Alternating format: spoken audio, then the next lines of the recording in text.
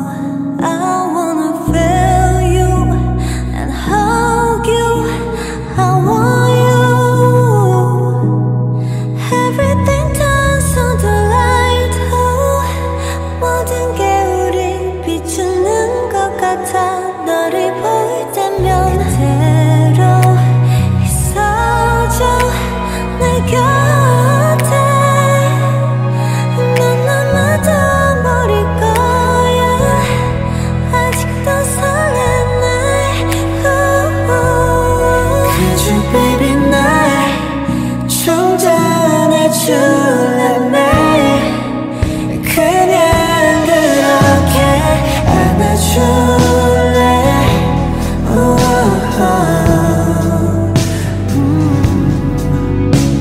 조금 늦었지 미안해 오늘도 기나긴 하루였을 거야. 망설이지 말고 넌 내게 와.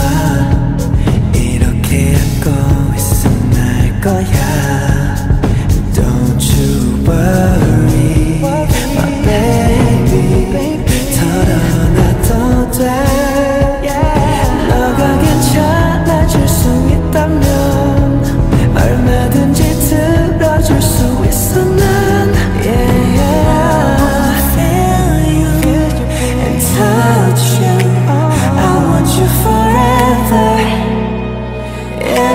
残存的爱。